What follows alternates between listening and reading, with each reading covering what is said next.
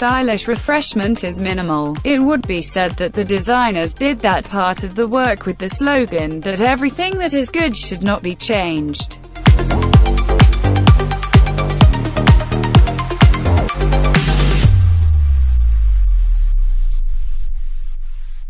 Radiator grille, as well as the bumpers, have made minor changes, making the van more stylish and sportier. There are also four new colors and as many new 17 to 19 inch alloy wheels.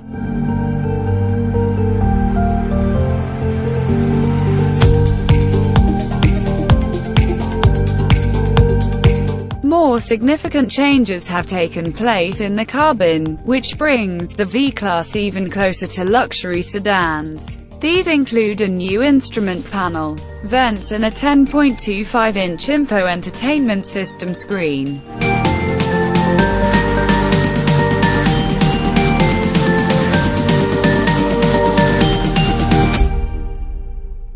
Buyers can choose from a variety of interior decoration options.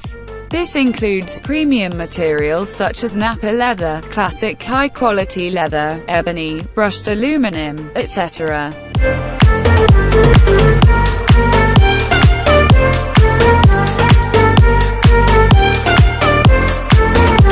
The seats can be configured in many ways. As a standard, the V-Class comes with three rows of seats, which can seat six adults. The V-Class is also available with seven or eight seats. It can also be charged for luxury second-row seats, which include massages and ventilation, among other things.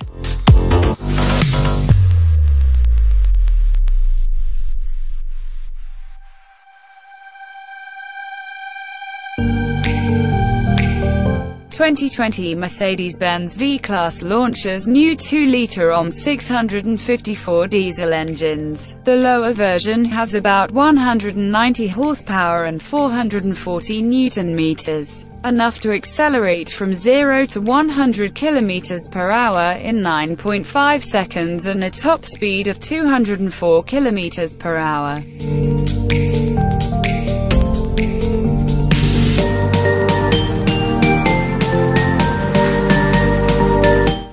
Power comes from 240 horsepower and 500 newton-meters, with the possibility of an additional 30 newton-meters thanks to the overboost function. The acceleration of the higher version is 7.9 seconds from 0 to 100 kilometers per hour and the top speed is 220 kilometers per hour. The innovation is also a 9-speed automatic transmission, and at extra cost it can get all-wheel drive.